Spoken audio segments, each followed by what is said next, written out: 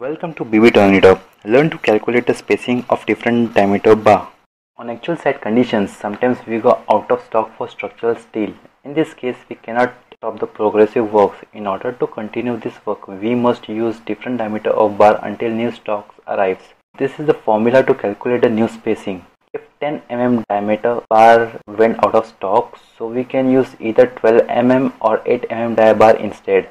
So this is the formula to calculate the spacing d1 square upon d2 square is equal to s1 upon s2. So after solving this equation we will get our required new spacing. We have put a excel sheet in the description link you can go through it. We have to just put up the formula in this space. So let us calculate diameter for 20 mm dia bar and just press the enter. This will automatically change the spacing now the new spacing for 20 mm dia bar is 312.5 mm. So thank you for watching this video. Like and subscribe. Thank you.